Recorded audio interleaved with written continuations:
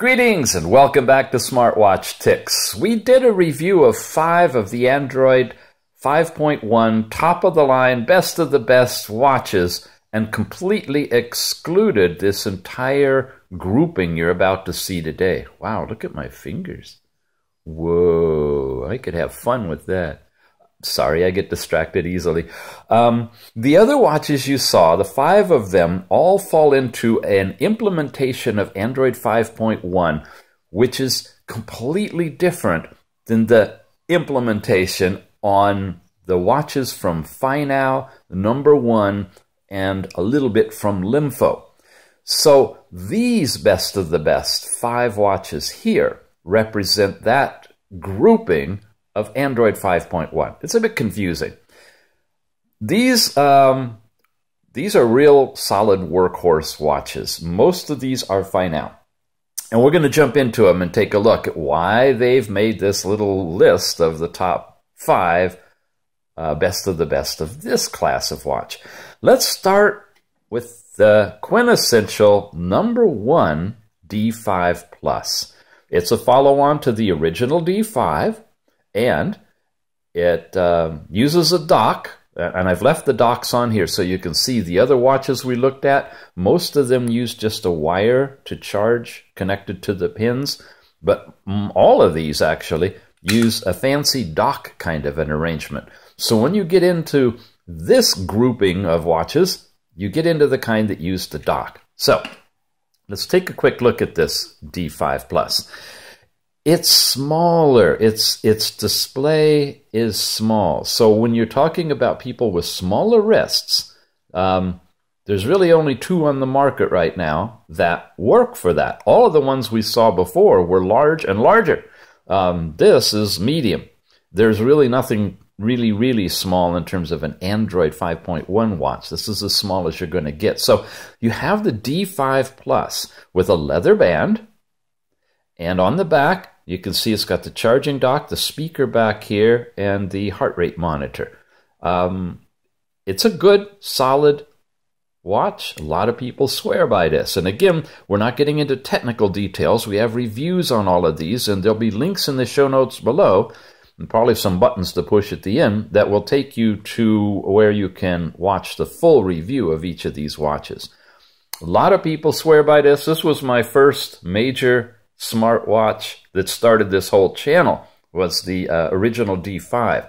Uh, it's it's a very good watch. Similar to this would be the Finow uh, number uh, the the Finow X1 Plus, except it never got released by Finow. There was an X1 and a D5. Then there was a D5 Plus, and there's a prototype of the X1 Plus but there never was, oops, a commercial version that came out. So you're not going to find this kind of a watch with one button in silver or black in the small screen in any other way except the D5 Plus. That said, you're not going to find another watch with these recessed two buttons except for the X3 Plus with the small screen. Again, we've got a dock. It has a different two cutouts. The docks are not interchangeable on these two watches. They will be on these. Um, so you got to keep the dock with the watch, and that's how it works. This is very, very similar size and appearance overall, except you notice in black it makes the watch look a little smaller, doesn't it? And the fact that the buttons are subdued on the side and you have two of them, and it doesn't stick out, that adds to its ability to look a little bit smaller too. Now I'm holding them right side by side. That's the distance from the camera. Okay. Again, um, different bands. This is the leather band. This is more the sports silicone kind of band. But the backing is very similar. They're metal backs too, by the way. I didn't mention that on the other five, but it's obvious to see when you look at the video which ones have a, a metal back and which ones have a plastic back. These are really solidly built watches. The one button kind you can only get as a D5 Plus. The two button kind you can only get as an X3 Plus. There was never a number one version of the watch that came out like this. So for the ladies, for the smaller wristed uh, people, this is uh, the two, these are the two choices that you have in terms of watches. So, what, do you like the leather band or do you like the silicone band? Now we go to the larger screen watches. We're sticking with the Finow line, and this is the X5 Plus right here. Now, the X5 Plus and all of these other ones are the larger screen. You can tell. Let's compare them. Here's black against black. Considerably larger screen. Again, it uses a dock and that dock is a thin little thing. It's uh, like a potato chip, and it just floats. And the really cool thing is this dock will work on all of these large format screened watches. Okay? You can have um, that dock and move it to the other ones, and it works just fine. I do that all the time. In fact, I don't even know which watch this dock actually originally came with. So that's the dock.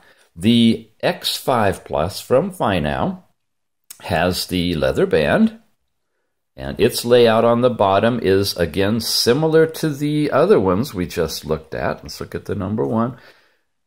You've got the charging port. Now the buttons are on the left side, so you see they've moved the uh, charging connectors to the other side.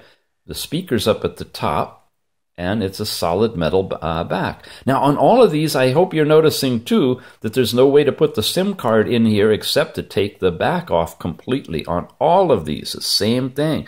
Of course, we're looking really at only two different companies here, number one and Finow, and number one's entry, this one, is um, basically the same as Finow. So you're kind of looking at one generic watch design philosophy Whereas in the other five that we saw, different companies made completely different watch uh, casings. Here, we've got the uh, three different buttons that you've got an SOS kind of a button and the on off button, all that. Again, the reviews get into the technical detail. This is more just a look and feel of this. What kind would you like? The X5 Plus comes in silver or black. And um, I wanted to show you its peer, which is the LEM 5 watch. Now, the LEM 5 is exactly, exactly, did I say exactly? The same as the X Plus. There really are no differences here. The only thing is the band. Now, they both are leather bands, it's just there's a little bit of a sporty band in the LEM 5, whereas the X Plus is more of a plain dressy band, I guess you could call it. The clasps are the same, the layout on the bottom is the same. The operating system inside is the same. They start up and shut down a little bit differently. This has Lemfo on it, LEM5, and this doesn't. Um, but other than the tiny changes in the firmware, they're basically identical. Oh, all the watch faces, they're custom faces from here and there that I've collected over time. And there's other videos that show you how to get these uh, custom faces and put them on your watches. All of these watches use the same technique for installing these watch faces because they're all from that same class of Android 5.1. So when you buy into Finow or number one or Lemfo with this one particular entry, the LEM5, when you buy into that class of Android, you're getting um, the same everything case design, method of installing watch faces, all of that stuff. Okay, let's run through them again, and I'll take the little thingy off and show you the other item we pointed out in the first grouping, and that was the uh, boundary between the bezel and the watch face itself, the actual pixels that light up.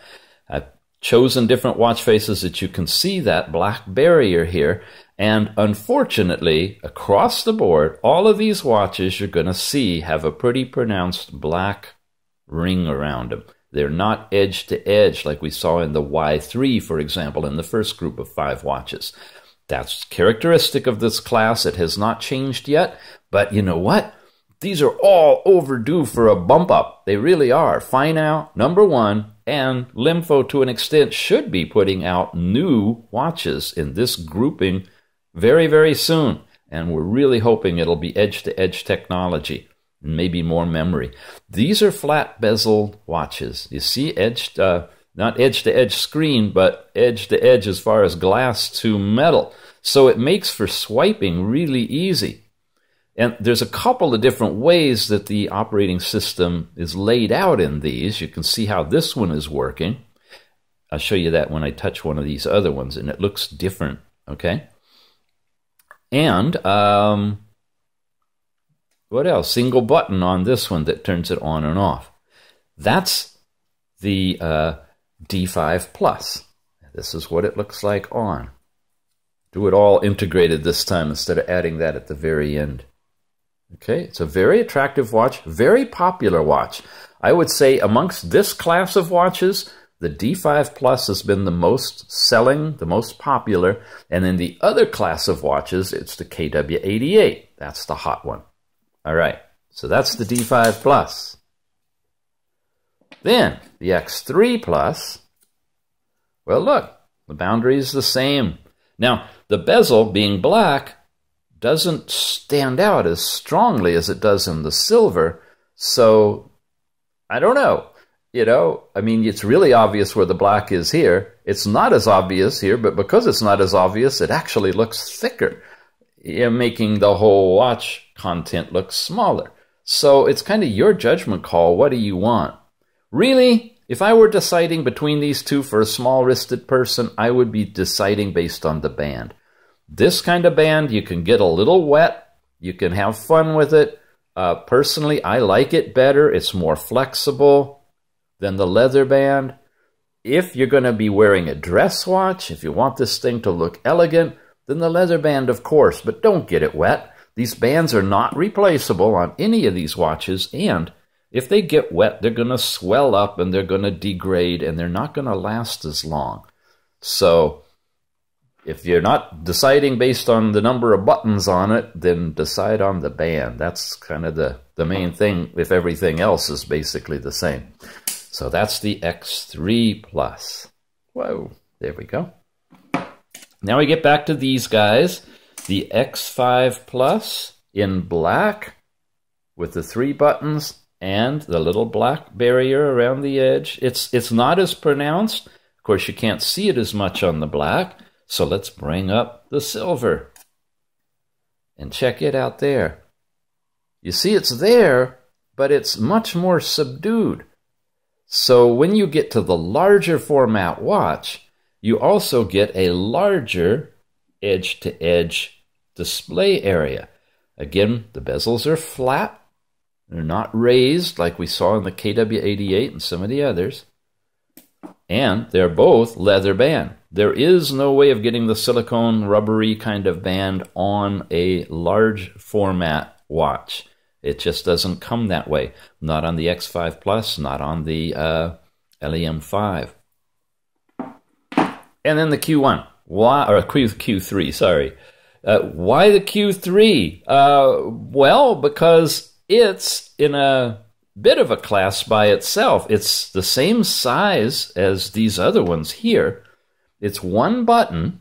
It's less expensive, significantly less expensive generally, especially when it's on sale, than either uh, of these. Um, but it's got a plastic back on it. Okay? The quality isn't quite as high on the Q3, but the operating system is basically the same. The way you put in the watch face is the same. The silver is extremely shiny. Hi, everybody. Um, I don't know. It depends on if you like that. When you put it on, it looks like this. It's definitely going to be an attention getter. It's going to be people will shield their their eyes in the sun because of the bright reflection off of your watch with this one. But it's uh it's it's less expensive. Same quality leather band, I'm pretty sure that you'll find on its peer, the X5. And both of these are from Finow, right? Okay. Uh, so they're the same company doing this. It's the same design. The cases are the same in the back, the way the speaker's laid out. And like I said, the dock is universal. It slaps onto all of these the same. There, there. Same, same. Okay, so they're really, uh, you know, it's it's a matter. In this case, it's a matter of fashion and price. Do you like the really bright silver and single button and lower price, ignoring the plastic on the back? I mean, it's okay. The plastic is fine. Silver, uh, the, the metal is okay. Uh, it's not something I would be deciding on whether it's a metal or plastic back. I'd be really taking into consideration the look and feel and design of the buttonology and button layout. Um, and what do you want in your band? Because other than those little subtle differences, they're pretty much the same watch. But they're all three really good watches, which makes them part of the top five recommendation from this grouping of watches that are the Finow number one and Little Info, only the LEM5, that work all the same way. All right, for those of you who are all concerned and upset that I totally didn't even talk about these kind of watches in that first group of five, now you got 10 to sort through. Again, comparing these five to each other, they're almost identical. The black barrier is a little larger on the smaller watch than it is on the bigger watch. You have a couple of them that have smaller diameter, and the rest, these other three, are bigger diameter. When you compare these, any of these, to any of the first five, now you have something to look at. You could grab one of these and say, what does the LEM5 look like compared to the KW88? Sorry, you guys. Um, and so forth. Uh, the, the LES uh, the LES 1, the new 16 gigabyte one that we talked about. How does that stack up and compare against these? Look at the um, the way that the case is designed on them. Look at the height of the bezel. Look at the um, like I said, the the boundary around there. Is it edge to edge? Is it really uh, a lot of black? And decide whether you want to deal with a leather band or whether you want to work with the silicone rubber sports kind of a band. Now you've narrowed it down from infinite to 10, right?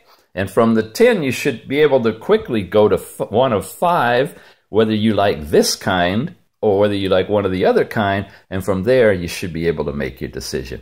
Hope these videos are helping. Um, there's a whole new crop of watches starting to come out with that KW98 that isn't on the market yet. The LES one, first 16 gigabyte one that's coming out. There's more on the way.